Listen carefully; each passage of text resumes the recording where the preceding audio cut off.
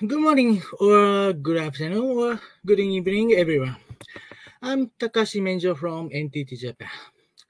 Let's start my talk about PMEM backed repositories for more high performance Apache NiFi.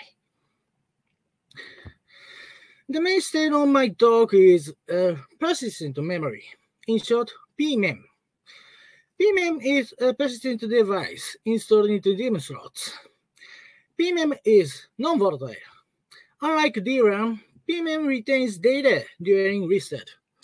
PMEM is byte-addressable Unlike block devices such as hard disks or SSDs, PMEM uh, CPU can access to the data on PMEM byte by byte with use of load and store instructions. PMEM is at, speed, at the speed between DRAM and SSD. It offers significantly faster